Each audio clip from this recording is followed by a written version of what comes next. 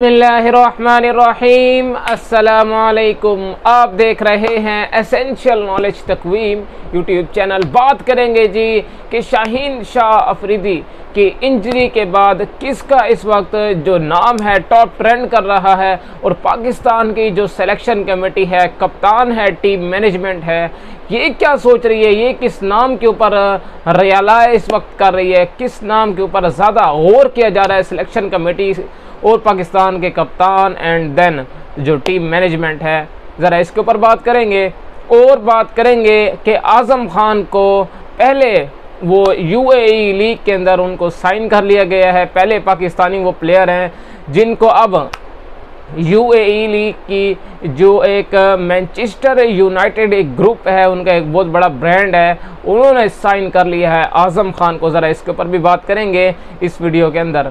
उससे पहले अगर आप हमारे चैनल पर और पहली दफ़ा आए तो चैनल को लाजमी सब्सक्राइब करें और साथ लगे बेल नोटिफिकेशन को ज़रूर ऑन कर दें, ताकि हमारी आने वाली वीडियो की नोटिफिकेशन आपको मिलती रहे। तो बात के स्टार्ट करते हैं नंबर वन खबर के साथ जो हमारे पास आ रही है। तो वो ये निकल कर सामने आ रही है। सबसे पहले बात कर लेते हैं आपकी शाहीन शाह अफरीदी की जो इंजरी हुई। कितना उन पर आप लोगों ने वर्कलोड किया वर्कलोड इतना उनको शाहीन शाह अफरीदी के ऊपर आप लोगों ने जो है वर्कलोड किया। जिसके ऊपर वो इंजर्ड हुए, आपने उसको श्रीलंका के खिलाफ भी जहाँ पर स्पिन विकेट्स थी, वहाँ पर भी आप लोगों ने उसको चांस दिया, उसको खिलाया। जो हम सब बात करते थे कि श्रीलंका के ख़िलाफ़ कम से कम आप उनको न खिलाएँ वेस्ट इंडीज़ के ख़िलाफ़ आप लोगों ने खिलाया। किसी यंगस्टर को आप लोगों ने मौका वहाँ पर नहीं दिया। क्योंकि जब हम बात करते हैं कि आपसे आप लोगों ने श्रीलंका के ख़िलाफ़ भी उसको चांस दिया और इतने ज़बरदस्त किस्म के आपको जो फास्ट बॉलर हैं आपने उनकी रिप्लेसमेंट भी तैयार नहीं की। अब हमारे जो, जो पाकिस्तान के जो लोग हैं जो सोशल मीडिया के ऊपर इतने वो भड़के हुए हैं इतने वो नाराज़ हैं क्रिकेट बोर्ड से और टीम मैनेजमेंट से कि आप लोगों ने क्यों सिलेक्शन कमेटी बार बार एक ही प्लेयर को छोटी टीमों के ख़िलाफ़ कम से कम आप जो यंग प्लेयर है उनको तो चांस देना। आप देख लें जिस तरह से इंग्लैंड क्रिकेट खेलता है, जिस तरह से इंडिया खेलता है, जिस तरह से बाकी जो ममालिक वाले हैं, वो खेलते हैं। ऑस्ट्रेलिया की आप बड़ी मिसाल आप लोगों के सामने है। जिस तरह से यार वो खेलते हैं, अपने बेंच स्ट्रेंथ को जो प्रॉपर मौका देते हैं वो। तो ये चीज़ें हैं, खुदारा इन चीज़ों पर काम करने की ज़रूरत है। फ़िलहाल जो इस वक्त खबर आ रही है टॉप ट्रेंड जो कर रहा है, वो कर रहा है मोहम्मद आमिर का। इस वक्त ट्विटर के ऊपर जो टॉप ट्रेंड कर रहा है, वो मोहम्मद आमिर साहब हैं।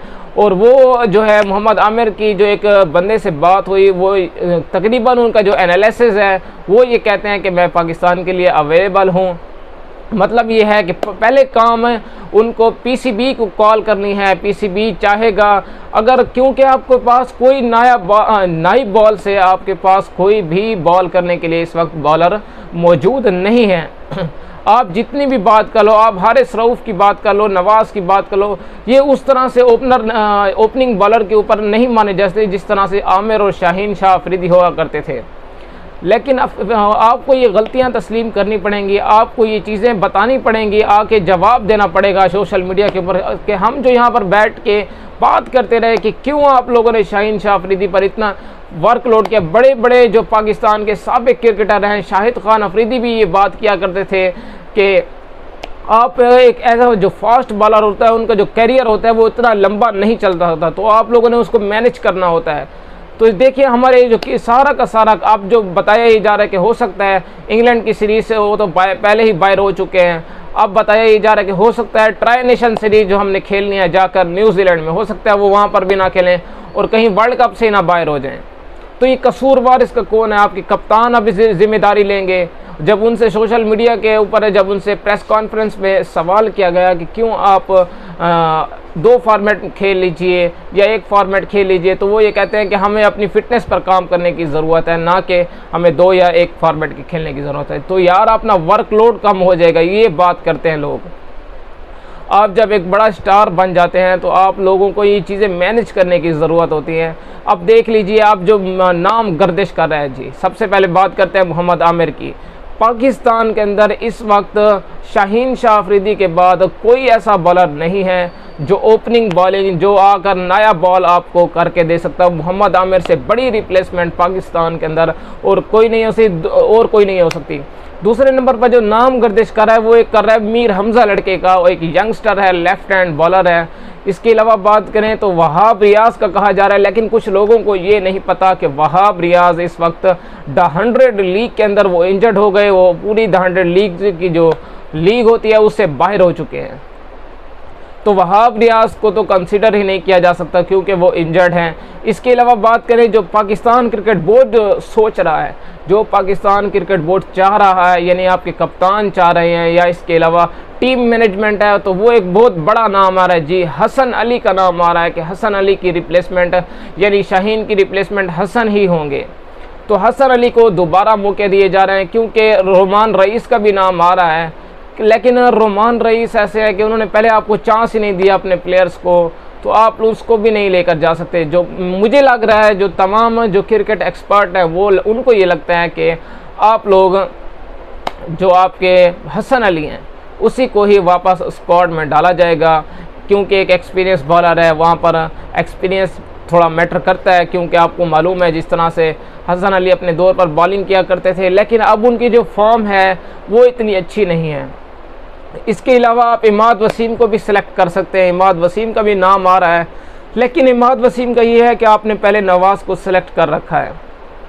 नवाज़ का ये है कि आपको जो वो नायब बॉल है, वो इतना अच्छा नहीं करते हैं वो। जिस तरह से इमाद वसीम का बॉल स्किट होता है, निकलता है क्विक स्पीड है उनकी थोड़ी तो वहाँ पर वो बहुत मैटर करेगा इमाद वसीम का रोल लेकिन इनकी जो ईगो है, वो मोहम्मद आमिर के लिए भी है और इसके अलावा इमाद वसीम के लिए भी है। हमारा पहले ही मिडल ऑर्डर वीक है। आप लोगों ने ये आपको बात तस्लीम करना पड़ेगी कि आपने किसी भी बड़े प्लेयर की रिप्लेसमेंट तैयार नहीं किया। आप देख लो, मोहम्मद रिजवान की हम चीखते रहे, हम चिल्लाते रहे इस प्लेटफॉर्मों पर बैठ कर कि आप लोग मोहम्मद रिजवान की रिप्लेसमेंट ही नहीं लेकर जा रहे हैं। आपको याद हो 2021 का वर्ल्ड कप सेमीफाइनल से पहले जिस तरह से वो आईसीयू में पड़े हुए थे, अगर खुदा न खास्ता वहाँ पर भी कुछ ऐसे मामला हो जाते हैं 2022 में एशिया कप के अंदर। तो आपकी रिप्लेसमेंट कोई तैयार ही नहीं बैठी है। आप इंडिया को देख लो, उन्होंने सत्रह रुकनी स्क्वाड अनाउंस किया। इसके अलावा बांग्लादेश को देख लो, इसके अलावा श्रीलंका को देख लो, अफ़गानिस्तान को सबने ऐसे ही अनाउंस किया है। किसी ने सतारह, किसी ने अठारह, किसी ने बीस रुकनी स्क्वाड अनाउंस किया है। तो आप लोगों ने सिर्फ़ पंद्रह रुकनी स्क्वाड अनाउंस किया। क्यों? इसकी वजह क्या है? तो ये चीज़ें हैं यार, इनको काम करने की ज़रूरत है। ये जो इतने पैसे ये लोग ले रहे हैं वसीम खान हैं आपके, जो चीफ सेलेक्टर हैं। इसके अलावा कई ऐसे वहाँ पर जो टीम मैनेजमेंट के अंदर लोग बैठे हुए हैं। क्या वो इस बात पर नहीं देखते हैं? अब जो है नाम गर्दिश करेगा जी इंडिया के अंदर, वो धानी को मौका दिया जाएगा। तो फिर धानी के लिए भी ज़्यादती है, क्योंकि आपने पहले ही उनको खिलाया ही नहीं। आपने चांस ही नहीं दिया। आप वेस्ट इंडीज़ के सीरीज़ के अंदर उसको तीनों मैचेस खिलाते ना? तीनों मैचेस खिलाते आप। आप इसके अलावा ऑस्ट्रेलिया में उसको चांस तो देते ना, ऑस्ट्रेलिया के खिलाफ उसको चांस देते, क्या हो सकता था? आपने वसीम जूनियर को चांस दिया, आप धानी को नहीं चांस दे सकते थे। इसके अलावा बात करें श्रीलंका के खिलाफ, चलो वो टेस्ट था, उसमें कोई मसला नहीं हो सकता। लेकिन अब कम अज़ कम शाहीन को तो ना खिलाते उस टेस्ट मैच के अंदर, जब कोई वैल्यू ही नहीं थी शाहीन शाह अफरीदी की वहाँ पर। क्योंकि आपको लग रहा था कि वहाँ पर स्पिन विकेट है बॉल टर्न हो रहा है बॉल स्पिन हो रहा है तो आपने फिर भी शाहीन शाह अफरीदी को खिलाया।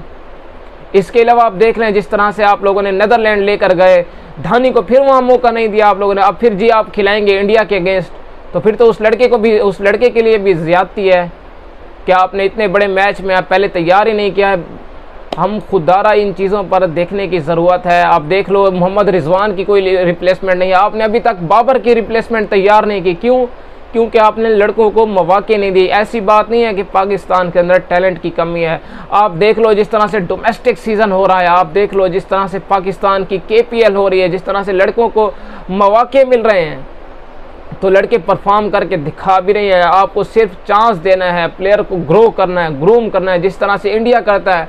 अगर आप, मैं इंडिया की एग्जांपल दूँ तो हर नंबर के ऊपर उनका ही रिप्लेसमेंट इस वक्त मौजूद है। ओपनिंग की बात करें, रोहित शर्मा की रिप्लेसमेंट मैं आपको बताऊँ तो शुभमन गिल जिस तरह से परफॉर्म कर रहा है। इस, इसके अलावा बात करें शिखर धवन अपनी फुल फॉर्म में है।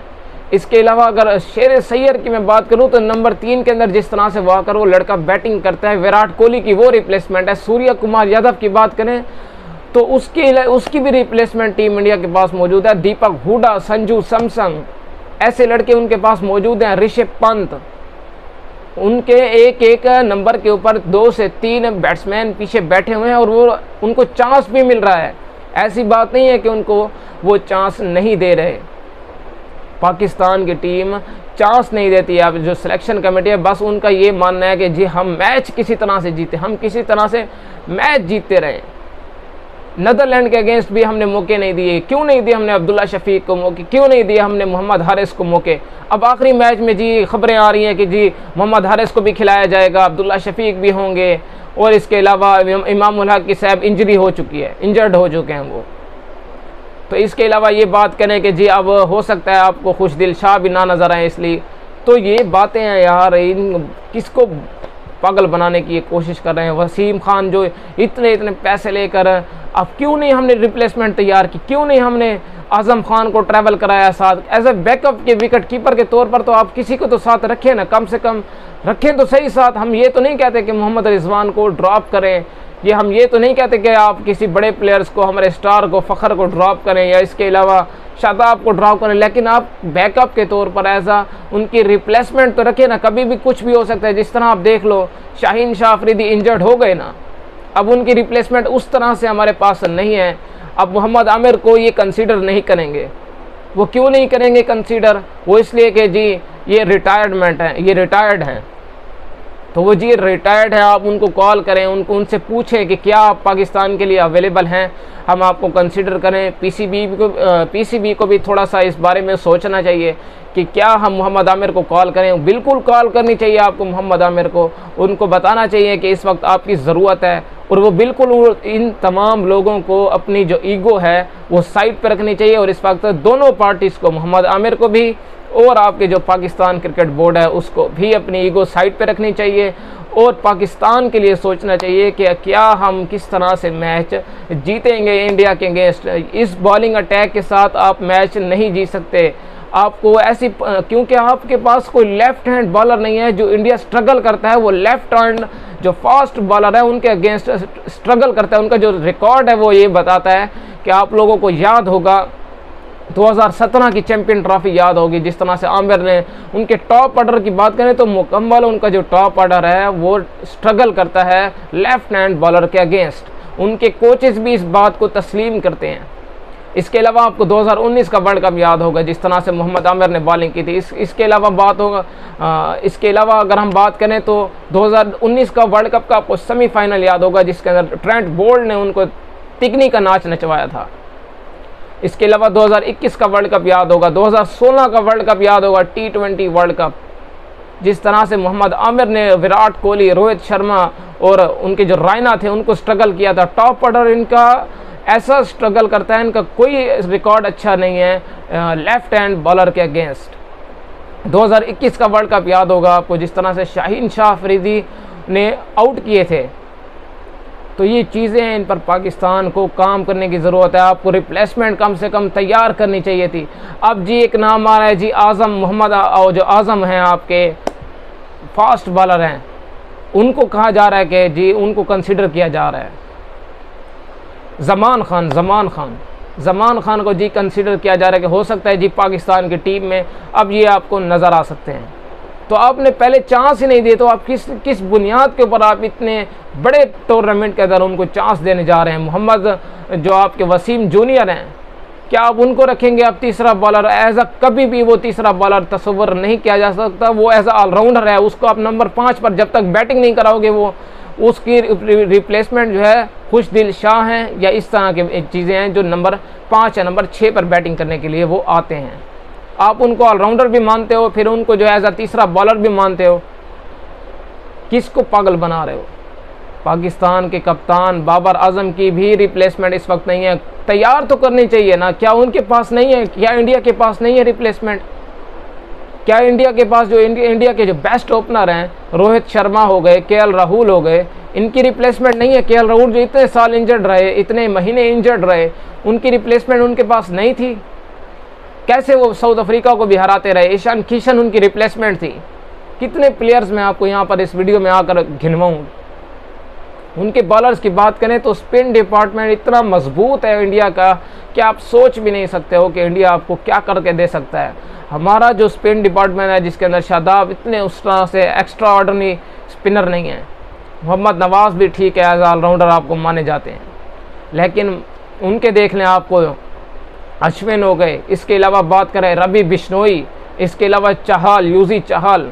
इसके अलावा बात करें तो कई उनके जडेजा मौजूद हैं उनके पास।